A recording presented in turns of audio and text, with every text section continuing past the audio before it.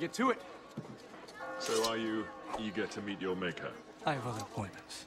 You'll miss them, I'm afraid. Well, I'll try my best to be on time. But you did hurt my shoulder. I trust it will not inconvenience you, sir. If you wish to postpone our meeting. By no means. I fight just as well with my left hand. If you find this places you at a disadvantage, I do apologize. You're very courteous, sir. Here come the grave diggers now. You. You're fighting this rascal? Athos, you cannot fight this boy. Why not? I'm fighting him. Not until one o'clock. I have a duel with him too. Not until two o'clock. How long have you been in Paris? Since 8 o'clock this morning. You have been busy. Let's get on with it then.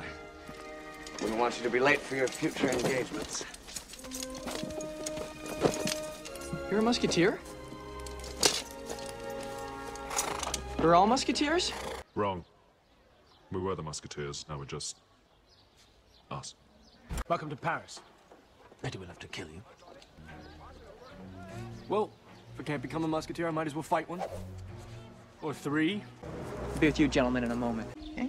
Impossible. Unthinkable. Unlikely. Wait for your turn, old man. Oh, he's a feisty little fellow. Feisty indeed.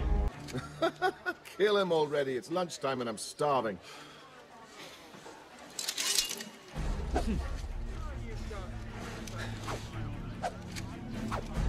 The Cardinal's guards! Oh.